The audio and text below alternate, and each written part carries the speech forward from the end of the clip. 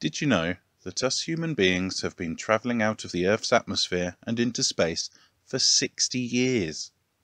That's right, 60 years ago this month, a Russian cosmonaut became the first person to successfully travel to space and complete one whole orbit of the Earth aboard a Vostok space capsule. I'm Oliver White of Ground Based Space, and to mark the 60 year anniversary of human spaceflight, this is the first of a series where we're going to look at all the human rated craft designs that have or still are carrying people into space from the Vostok 1 mission in 1961 all the way to 2021 with the likes of Crew Dragon and Spaceship Two.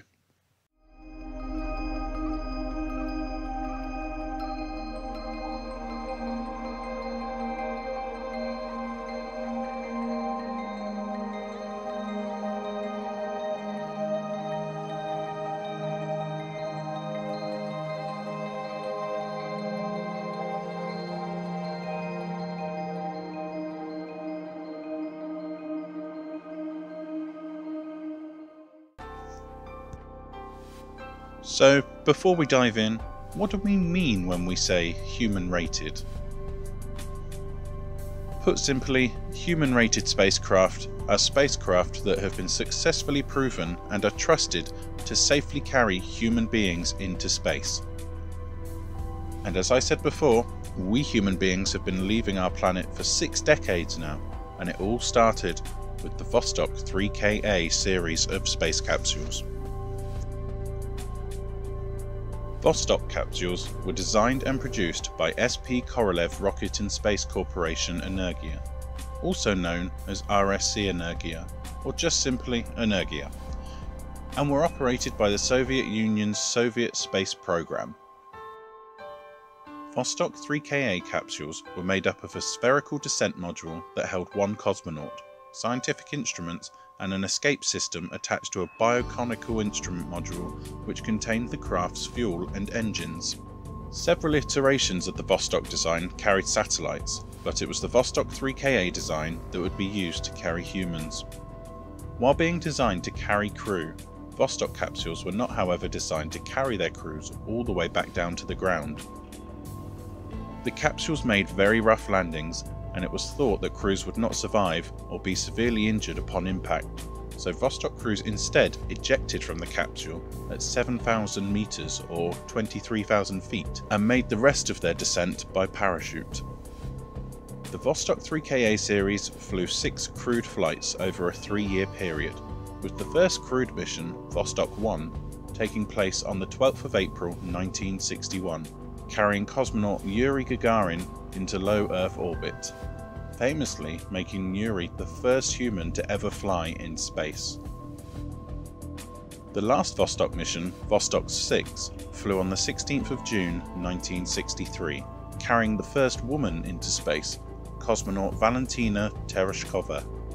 Radio Moscow announced her flight on a worldwide broadcast at the time, and here is a clip of the broadcast, but please note that it isn't the clearest of recordings. Moscow. This is Radio Moscow. Here is a special announcement.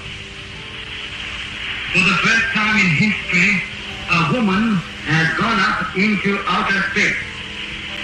At 12.30 Moscow time, the spaceship Vostok 6, piloted by a woman, a Soviet citizen, Tereshkova. Project Mercury was the USA's first human spaceflight program, attempting to beat the Soviet Union to having the first person in space. The Mercury capsule was designed and built for NASA by McDonnell Aircraft Corporation. Six crewed Mercury missions took place between May of 1961 and May of 1963.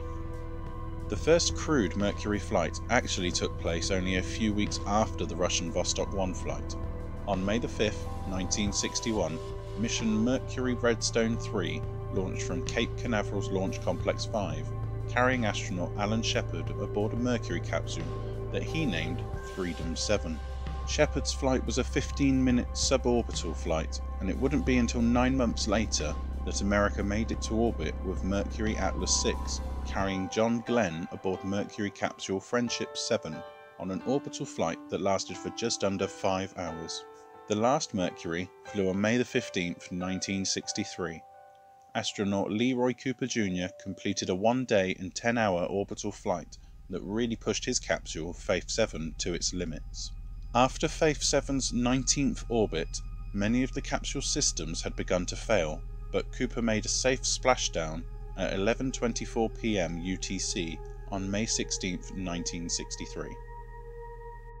On each flight, the Mercury astronauts named their capsules. In order of launch date, they were named Freedom 7, Liberty Bell 7, Friendship 7, Aurora 7, Sigma 7, and Faith 7.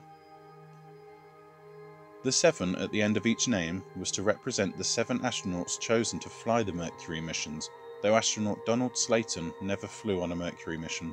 All of the capsules were recovered, though Liberty Bell 7, the second capsule to fly, was not recovered until 1999, after it sank on its initial splashdown in 1961. But all six capsules can now be seen on display in museums across the USA. The X-15 was a single-seat, air-launched, suborbital, hypersonic rocket-powered spaceplane that was in use by NASA and the US Air Force between 1962 and 1968.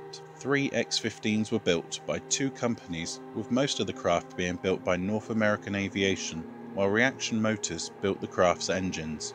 X-15s flew 199 times, but only 13 of those flights were space flights. To launch, X-15s were carried under and dropped from the wing of a B-52 mothership plane. In July of 1963, pilot Joe Walker reached an altitude of 100 kilometers, granting him recognition as an astronaut and joining the ranks of the first people to fly in space. On the 15th of November 1967, test pilot Major Michael Adams was tragically killed during Flight 191 he was piloting X-15-3, which entered a hypersonic spin while descending. This resulted in the craft breaking up at an altitude of 60,000 feet or 18 kilometers. With the speed the craft had been traveling, wreckage of X-15-3 was scattered over a 50-mile square radius. In May of 2004, a monument was placed at the location the cockpit had been found, close to Johannesburg, California and Major Adams was posthumously awarded his astronaut wings and his name was added to the astronaut memorial. X-15 flight number 200 had been planned, but a large number of technical problems combined with six flight cancellations due to bad weather saw the X-15 program come to an end.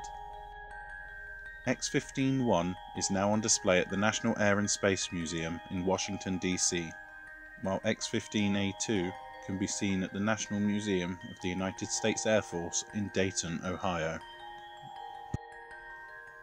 The Voskhod spacecraft flew in 1964 and 1965 and was designed and built by RSC Energia for the Soviet Union. Developed as a follow-on from the Vostok capsule, Voskhod 1 was a three-person craft, while Voskhod 2 would carry only two people. The design was very similar to the Vostok design, with a spherical descent module that houses the crew and scientific instruments, and a conical equipment module that houses the propellant and engine systems. Voskhod 1, officially named Vostok 3K5, was a three-person craft. The one-person ejection seat of the Vostok was removed, creating space for a three-person couch design. However, Space was so tight that the crew couldn't even wear a spacesuit, instead wearing standard flight suits for their voyage. The initial design for Voskhod 1 had been for a two-person design that would allow crew to wear spacesuits, but political pressures saw the design change to a three-person design, and the lack of space meant that no escape system was built into it, meaning the crew could not escape if an emergency had taken place during launch or re-entry. Voskhod 1 launched on the 12th of October 1964 and was notable for setting a number of historical firsts. It was the first spaceflight to carry more than one person, the first spaceflight without spacesuits, the first spaceflight to carry an engineer, and the first spaceflight to carry a medic. The crew was made up of commander and pilot Vladimir Komarov, engineer Konstantin Feoktistov, and medic Dr. Boris Yegorov. The Voskhod 1 flight lasted a little over 24 hours, landing on the 13th of October 1964 at 0747 UTC. The Voskhod 2 capsule was a two-person design, and like with the Voskhod 1, the one-person ejection seat was not present and two non-ejecting seats were instead used. Again, this meant that escape during a launch or landing emergency was not possible. Voskhod 2 was also different to Voskhod 1 in more ways than just the number of seats installed. It had an inflatable airlock that once deployed allowed for one of the Voskhod 2 crew to perform EVAs or extravehicular activities. Voskhod 2 launched on the 18th of March 1965, crewed by pilots Pavel Belyaev and Alexei Leonov. About 90 minutes into Voskhod 2's flight, at the completion of their first orbit, Alexei Leonov became the first person to conduct an EVA after he made a 12 minute spacewalk using the inflatable airlock. The mission lasted for a total of 26 hours and 2 minutes, landing on the 19th of March 1965 at 0902 UTC. Voskhod 1 is on display at the Science Museum of London, while Voskhod 2 is displayed in the Energia Museum in Korolev, Russia. And that's where we're going to end this episode. In the next one, we'll be covering the second half of the 1960s and the 1970s with the likes of the Gemini, Soyuz, and Apollo spacecraft. Thank you so much for watching, and I really hope you've enjoyed this video. Don't forget to let me know your thoughts in the comments, as I'm always super grateful to know what you think. And don't forget to click that like button and subscribe if you enjoy what you see here. Again, thank you so so much for watching, I've been Oliver White of Ground Based Space, and remember, keep looking up at the stars, because who knows, one day we might just meet each other up there. Take care, guys.